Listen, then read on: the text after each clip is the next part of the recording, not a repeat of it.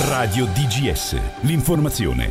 Il radiogiornale di DGS News con voi Martino Ciano a Paola un salto di ben 20 metri di altezza ma per fortuna solo qualche ferita per i tre passeggeri di un'automobile è quanto avvenuto ieri su un viadotto nel tratto della SS18 immediato l'intervento dei vigili del fuoco che hanno dovuto tagliare le lamiere dell'auto per estrarre i tre passeggeri tra i quali c'era anche un bambino.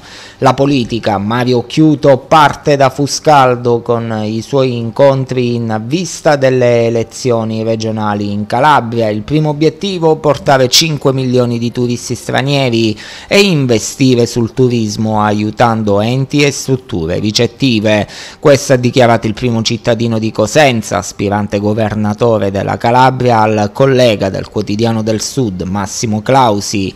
La sanità, il consigliere regionale Gianluca Gallo chiede interventi urgenti per il 118, mancano gli autisti delle ambulanze, il distretto di Praia Mare, quello che sta pagando il prezzo più alto, un allarme che non può essere preso sotto gamba. A San Nicola Arcella il capogruppo di minoranza Giampaolo Enrico interviene sulla carenza idrica, quest'anno il problema si è presentato prima del previsto, ha detto ai nostri microfoni, cosa aspetta l'amministrazione ad intervenire?